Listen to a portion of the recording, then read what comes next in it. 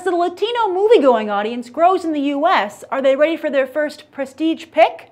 You're watching Beyond the Trailers review of Cesar Chavez. To be successful, we have to have an army of boycotters willing to do the hard work. The bigger the army, the bigger the success. Farm workers in Delano, California have begun an unprecedented strike in the Central Valley. The citizens of Delano, they respect the law. So do we, especially the Bill of Rights. Have you seen the headlines they're getting? That's costing us real money, Mr. Bogdanovich. We don't have to negotiate. We have to dictate terms. Cesar, they will shoot. We're gonna break this damn strike. You know, as a prestige pick, Cesar Chavez is off to a pretty good start, with the audience at South by Southwest having just awarded it the Narrative Spotlight Award. And that was its North American premiere, having been first screened at the Berlin Film Festival just a few weeks earlier. And while Hollywood has already recognized Gandhi, Oskar Schindler, Norma Rae, and most recently Solomon Northup, why not now Cesar Chavez? Especially as the Latino movie-going audience heats up the box office with not just the Fast and Furious franchise, but also Eugenio Derbez's Instructions Not Included, which hit theaters last summer and became the highest grossing Spanish language film in the United States ever. In fact, Derbez just signed with top Hollywood talent agency CAA. Speaking of Latino talent, Derbez's fellow Mexican star Diego Luna directs here. And while this is only Luna's second time directing a narrative feature, the first was Abel back in 2010, Luna is certainly no stranger to the festival circuit or the awards circuit. Abel won the Ariel Award, the Mexican Oscar, for Best Original Screenplay and was nominated for Best Director and Best Picture. Plus, Luna has co-starred in critical darlings Before Night Falls, Y Tu Mama Tambien, Frida, and Milk. So he knows the game and has the connections, as does his co-producer and frequent co-star Gael Garcia Bernal. And this is also good timing for their star, Michael Pena. Pena surprised Hollywood when he brought in the Latino demographic for 2012's End of Watch, which resulted in a surprisingly strong number one debut for the low-budget pick. Could the role of Chavez, plus roles in the upcoming Fury opposite Brad Pitt and Marvel's Ant-Man, finally make Pena an A-lister after two decades on screen? Plus, Chavez is a great American story and still timely even today. Not just because he led the original Latino labor movement in the 1960s and 70s, but his slogan, Si se puede, would later become Yes we can, and co-opted for another groundbreaking campaign. This is a great and important story, but unfortunately, Cesar Chavez plays like an HBO movie. And I think that filmmakers need to accept the fact uh, that as TV steps up its game, it's imperative that they do the same.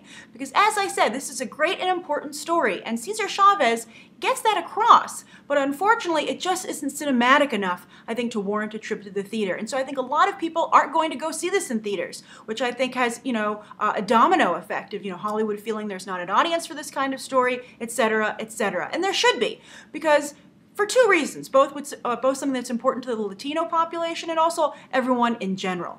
Now, as for the Latino population, I think it's really great, as I said, to have a kind of prestige pick uh, for this demographic uh, and to visit one of the, their important historical figures, not just in the Latino, um, uh, you know, demographic, but also in, in, America. I think so often when we talk about the history of America, it's whitewashed. It's as if history refuses to accept that we've always been a very diverse nation.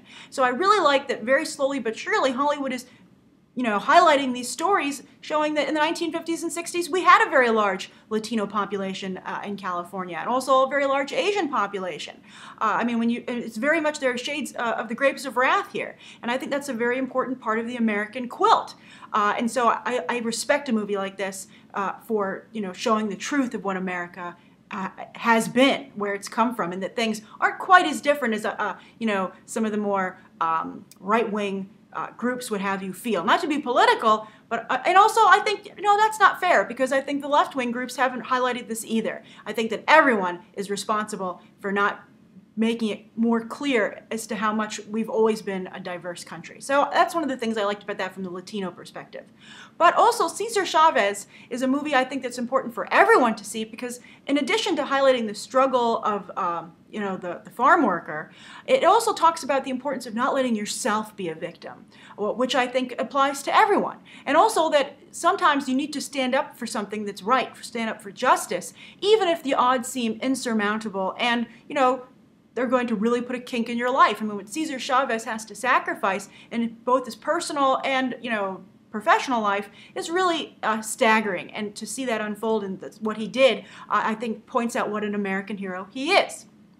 Uh, so, as I said, really well told, told story, but just not cinematic enough. Uh, the acting is even good. I think Michael Pena is quite good, America Ferrera, John Malkovich, who's also an executive producer here, they all do a really good job. But I think that just like I don't think people are going to see this movie in theaters, I think their work will go largely unrecognized uh, unless this thing runs a stellar awards campaign. I was going to say ad campaign. Uh, it needs to run one of those as well. But unless this movie is really on the ball in terms of promotion, both within the industry and out, I think it's just going to slip through the cracks. Because again, as I said, simply not cinematic enough. And when, as I think back more, I think that was really what helped 12 Years a Slave, besides its subject matter, uh, obviously, but the fact that it was so cinematic. I think that really helped give it that extra push that separated it from its competitors, you know, the other movies of 2013 that dealt with uh, race relations.